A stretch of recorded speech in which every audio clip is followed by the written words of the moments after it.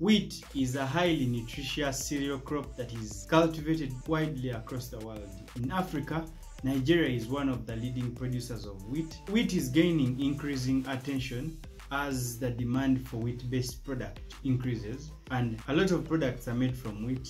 Wheat is used to make flour, bread, pasta and other food products in Africa and outside Africa. So the demand is readily available for wheat. The most suitable soils for wheat farming are sandy loam soils which are rich in organic matter and have quite a higher rate of drainage. So this is one of the businesses that is expected to grow in 2023 and beyond because according to the market research, the market is expected to reach 34 billion and beyond. Therefore, if you're looking to get started with agriculture farming business and you have bigger land, this is one of the businesses that you can venture into in 2023 and beyond.